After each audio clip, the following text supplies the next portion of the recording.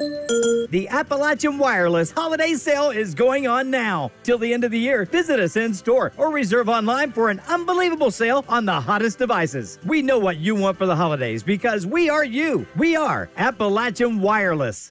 Governor Andy Beshear signed an executive order on Tuesday that will allow Kentuckians to possess up to 8 ounces of marijuana for medical use under strict guidelines. However, unlike many states who decriminalized possession of small amounts of marijuana once medical marijuana was legalized, marijuana has not been decriminalized in Kentucky. There will be a time when somebody is stopped thinking they're doing the right and they will be arrested in that. So, why not decriminalize it?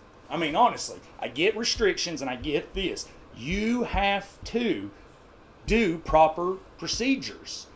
That's the whole goal. It's to bring money into Kentucky, make sure kids are not getting this stuff, and the right people that are using it are using it the right way, and therefore we pay taxes, we live our lives, and we help the community.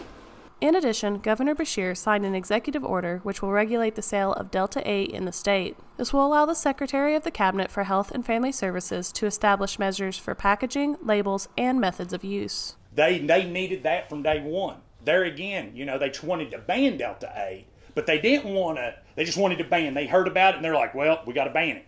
It's like, wait a second, it's helping a lot of people, so they didn't ban it. Legislating didn't ban it, but now they're going to put restrictions on it. Hey, we're all for restrictions.